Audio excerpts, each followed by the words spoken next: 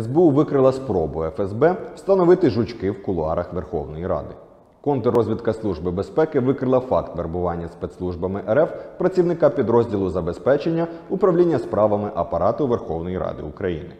До співпраці посадовця схилив кадровий співробітник ФСБ під час поїздки до тимчасово окупованого Криму до початку повномасштабного вторгнення.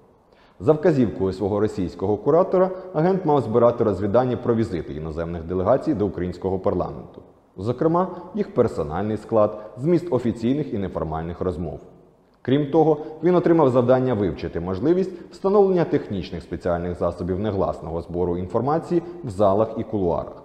Для цього посадовець мав використати свої службові повноваження, які передбачали допуск і доступ до різних приміщень адміністративної будівлі.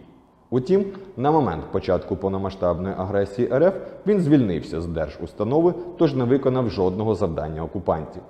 Згодом агент намагався працевлаштуватися на стратегічно важливий об'єкт на території Житомирської області. Для цього він проходив спецперевірку, під час якої фахівці СБУ і виявили факт вербування. А сам агент добровільно повідомив і детально розповів про завдання російських спецслужб.